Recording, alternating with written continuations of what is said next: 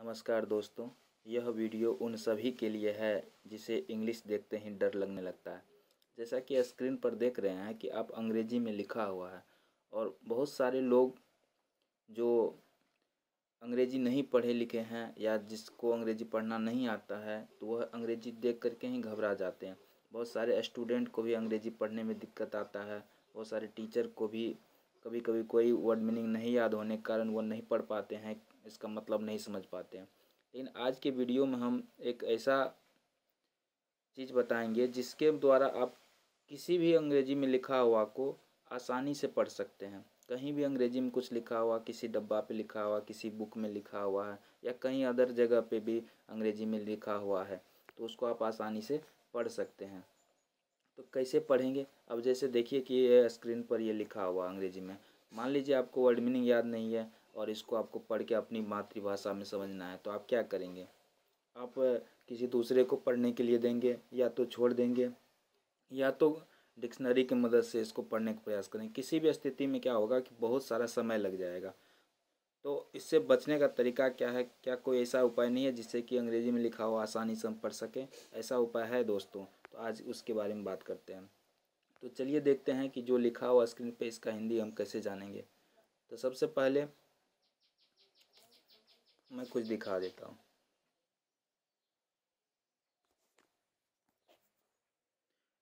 ये देखिए, आ गया है। हम अब जैसे देखिए, इसमें इंग्लिश, हिंदी लिखा ऊपर में। अब जैसे यहाँ पे कुछ लिखा हुआ तो इसको हम जैसे ही ये अंग्रेज़ी में लिखा हुआ देख लीजिए। और जैसे ही इसको हम यहाँ पे रखते हैं, ये हिंदी में लिखा हुआ आ जाता है। तो बस इतना ही करना होता पढ़ने के लिए। चंद सेकेंड का बात है। आपके पास एक स्मार्टफ़ोन होना चाहिए और उसमें नेट कनेक्शन होना चाहिए। इससे क्या होगा दोस्तों कि आप कहीं भी कुछ लिखा हुआ रहेगा आसानी से इसको पढ़ सकते हैं। चलिए तो वह लिखा हुआ बस उसके सामने कैमरा ले जाना है और वह चीज़ जो अंग्रेज़ी में लिखा हुआ है वो हिंदी में लिखा करके आ जाएगा। अगर मान लीजिए आपने अभी जो मैंने स्क्रीन पर दिखाया उसको पढ़ना है तो क्या करेंगे? तो यहाँ पे एक ऑप्शन मिल जाता है।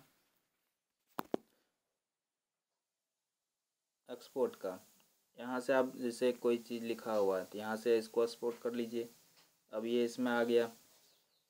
मोबाइल में लिखा था अब इसको क्या कीजिए कि फिंगर से जो है इसको हाईलाइट कर दीजिए। और जैसे ही हाईलाइट करते हैं, देखिए क्या होता है। हाईलाइट करते हैं और ये हिंदी आ गया इसका। बस इसको तीर के निशान पे क्लिक करना है। और ये देखिए, जो चीज़ अंग्रेज़ी में लिखा हुआ था, वो अंग्रेज़ी में आप पढ़ सकते हैं। इस तरह से कहीं भी कुछ लिखा हुआ रहे, चाहे मोबाइल में लिखा रहे चाहे कहीं पर भी डिब्बा पर कहीं भी किताब में लिखा रहे उसको आप आसानी से हिंदी में करके पढ़ सकते हैं।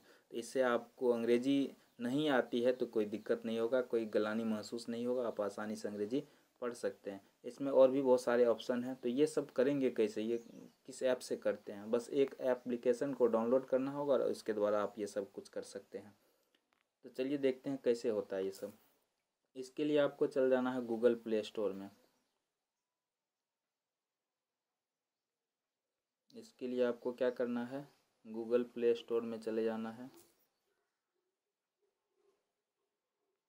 और इससे पहले मैं बता दूँ कि अभी अभी तक आपने हमारे चैनल को सब्सक्राइब नहीं किया तो सब्सक्राइब कर लीजिएगा, क्योंकि हमारे चैनल पर आपको यूजफुल जानकारी मिलती रहती है जो आपको काम आ सके।